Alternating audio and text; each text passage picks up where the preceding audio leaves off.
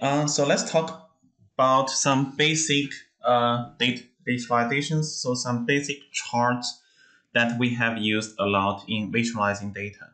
So if you have taken my data visualization class, so you may already have learned those charts. So here we I just want to give you a brief review of what charts we can create um, and also how to interpret those charts. So data visualization is very, very powerful to understand the patterns of our data and also can give us um, some ideas at what features we should use in the machine learning. Um, so the first one that we use a lot is called histograms. So histogram is one that shows the occurrence of the occurrence of the data that in a statistical distribution. So it has been used a lot in showing the distribution of a single variable. Okay, a single variable. So, uh, so for example, here we have the price uh, distribution and also we have views distribution. So we need two histograms, two charts to show those two variables. So for the first one, we can see that uh, on the x-axis, uh, those are the range of the values. And on the y-axis, so those are the number of the records uh, or the accounts uh, that in those range. So here we can see most of the price are in the lower range. And we have uh, two records that have very high, very, very high price.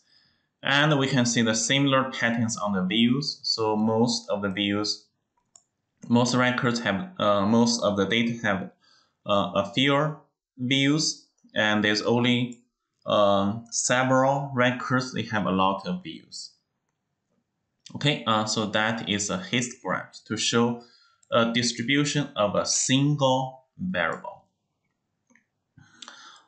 However, so if you want to compare uh, the distribution of multiple variables, or if you want to have uh, say the information about uh, the percentile summary, and the box plot is a is a is a better choice.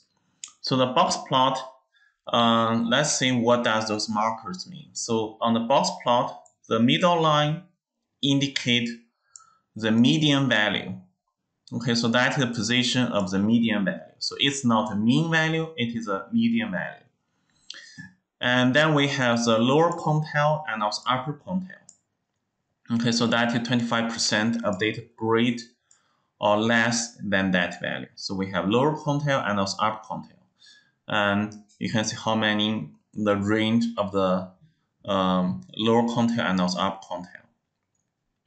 And then those two bars are the maximal and also minimal values. And pay attention that those maximal and minimal values do not include the outliers. So those are not the real biggest or smallest values.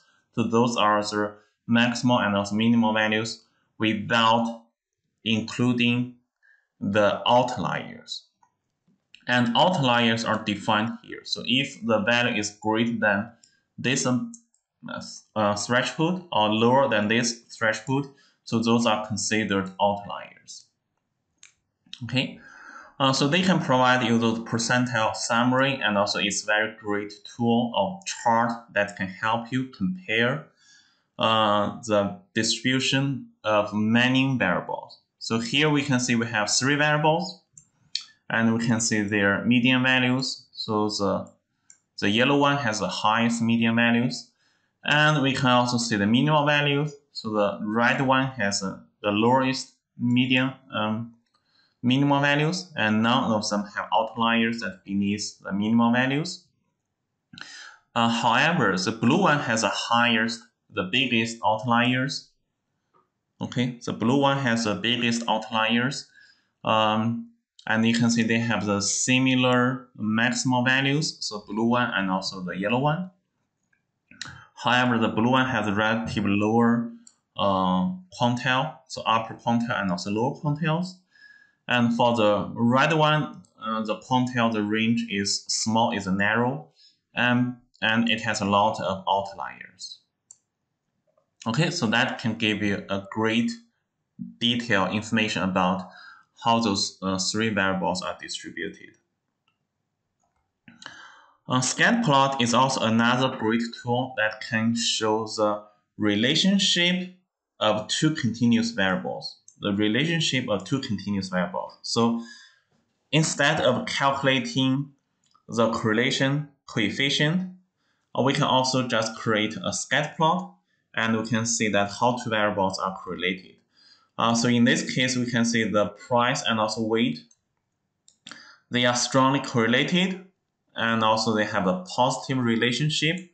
And we can see that such type of the relationship is not linear. Okay, so that uh, so that is great.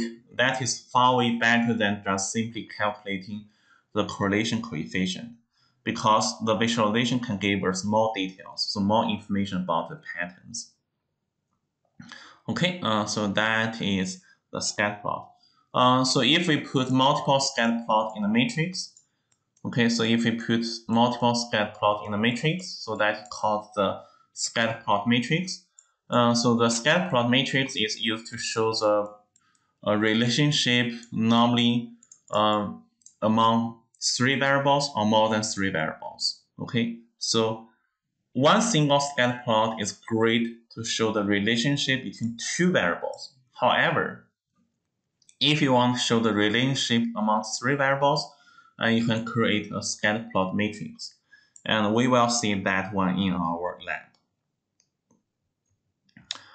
Uh, line graph is also very simple, so it mainly is, is used to show the trends of the variable. So in most cases for line graph, um, the x-axis is used to show the indicate the date or the time. Okay, the date or the time. And so you will see that the, the change of the variable over different time period. Okay, uh, so that is line graph. Uh, so here we can see one example. So here we can see the house price, how the price, how the unit price uh, is changing, so has been changed over the past few years. Okay, so we can say there was a spot, uh, there was a spike in that year, so in 1930 probably, and also there also a spike uh, in 1970. Okay, and then the prices is keep lower uh, after 2000. Okay, uh, so that is a line graph. Bar graph is just used to, to compare the different values. So compare the values in different category.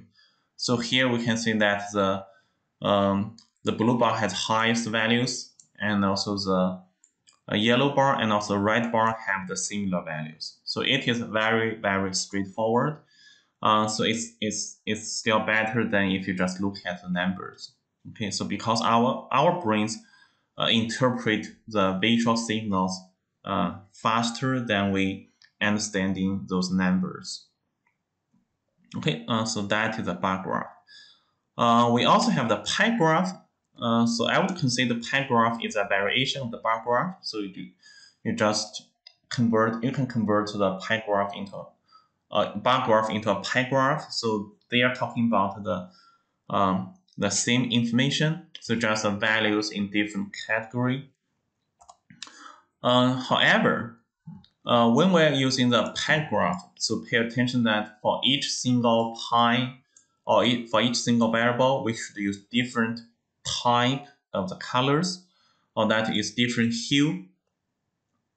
Okay, so different type of the colors. So we should try to avoid using same color, but um, different brightness or different saturation. Okay, so that is not recommended. Okay, so we should use different type of colors on the pie graph. And also generally, pie graph is not recommended. So uh, try to avoid pie graph at all. So because pie graph are using the area, so those two dimension signals to represent the values instead of the bar graph, so that is using the length, so that is one dimension.